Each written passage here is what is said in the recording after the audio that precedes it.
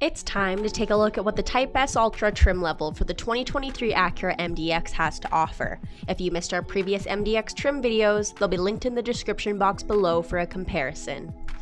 The Type S Ultra is the top trim level for the 2023 MDX and offers an impressive amount of style, luxury, and performance. The exterior is eye-catching with 21-inch Berlina black wheels, red Brembo calipers, frameless diamond pentagon grille, quad round exhaust tips, and gloss black accents. The interior also knocks it out of the park with quilted leather and ultra suede combination seats, metallic wood accents, iconic drive accent lighting, and a metallic tricot roof.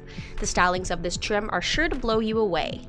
When it comes to features, the MDX Type S Ultra is unmatched. With this 7-seater luxury SUV, you get heated and ventilated front seats, massaging front seats, an ELS Studio Signature Edition sound system, wireless phone charging, surround view camera, and so much more.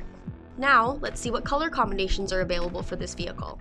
Whether you're after something sporty, like platinum white pearl on red, or something eye-catching, like tiger eye pearl on orchid, there's a little something for everyone with the 2023 MDX Type S Ultra.